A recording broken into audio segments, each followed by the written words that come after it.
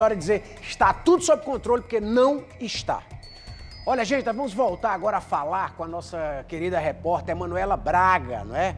Emanuela tem mais aí informações sobre a prisão do homem apontado, não é, como autor de pelo menos oito homicídios ocorridos em Calcaia.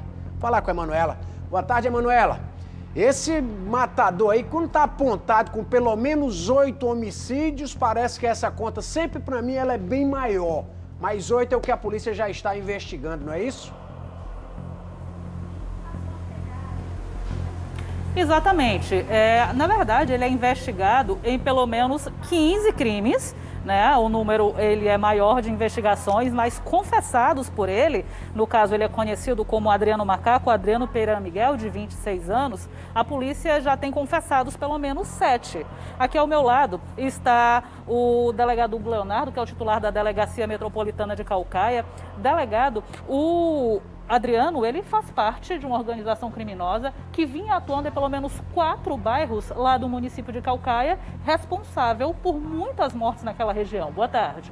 Boa tarde. É, as investigações é, contra esse grupo se deram é, ainda no ano de 2019, quando eles começaram a praticar essa série de homicídios, né, um grupo chefiado por Jamilo da Silva Pereira, e aí a gente já tinha essas investigações em andamento que se intensificaram há cerca de seis meses.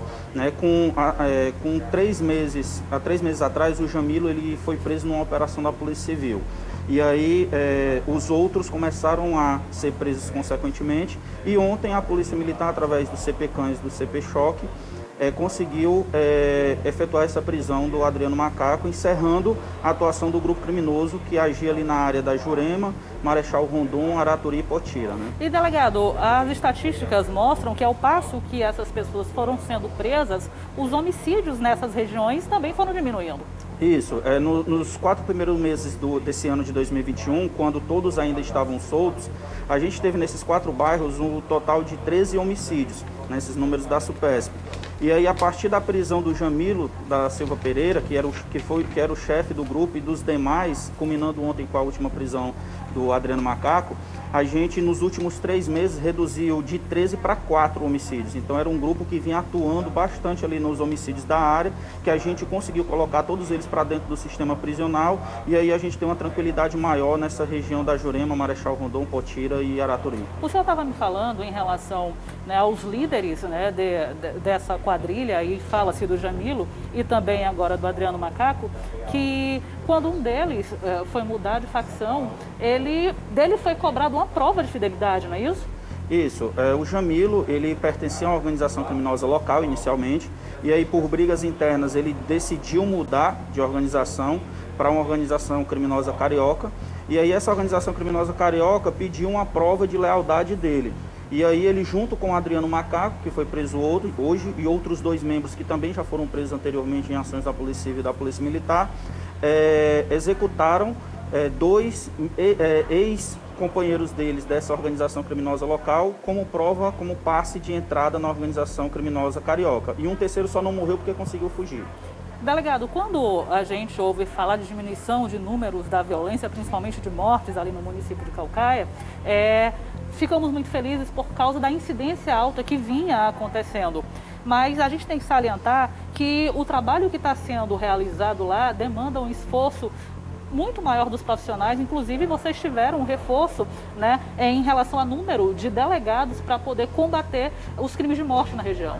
Isso, a Secretaria de Segurança Pública ela vem investindo muito, tanto na Polícia Civil quanto na Polícia Militar. Né, a gente teve um aumento muito bacana na Polícia Civil, eh, tanto de delegados quanto de inspetores, quanto de escrivães. Houve um aparelhamento maior também da Polícia Militar, principalmente com a ação de grupos especializados atuando especificamente na região da Calcaia. Assim, nunca se trabalhou tanto como está se trabalhando agora. A gente, a gente teve alguns índices é, é, maiores no período de 2018 a 2020, mas os índices de 2021 eles já comprovam que esse trabalho, essa estruturação que vem sendo feita no, é, na segurança do município, vem reduzindo é, é, é, os índices de CVLIs na região. Mas tem muito trabalho ainda a ser feito e a gente continua tentando trazer a paz social para todo mundo do município.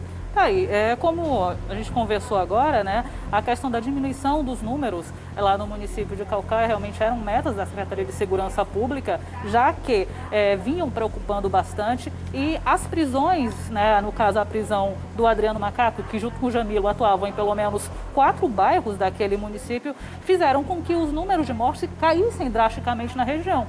E, obviamente, a gente continua torcendo né, para que esse trabalho seja um trabalho contínuo e que esses números eles zerem, porque é, a gente, infelizmente, que trabalha é, na, no, no, jornalismo policial, a gente sabe que quanto mais se fala é porque a situação na região não está boa. E é exatamente para mostrar que a polícia tra tá, tá, está trabalhando é que é, a, a, polícia, a Secretaria de Segurança está divulgando aí né, essa importante prisão do Adriano que aconteceu hoje lá naquele município. Márcio, eu retorno com você ao estúdio. Ok, Mariela, agradeço aí ao delegado, parabenizando já pelo trabalho que ele tem desempenhado aí na região, né, e que conta sempre com o nosso a, apoio aqui. Às vezes a, a delegacia fica desestruturada porque falta policial, falta equipamento. A gente precisa estar tá em conjunto, não é? é, é pedindo que isso seja reforçado para que o delegado possa fazer o seu trabalho, não é, Valdo, com eficiência. É, Márcio, e é preciso também reforçarmos aí que o Ministério Público, bem como também a própria Justiça, tem a sua parcela contribuir muito, né?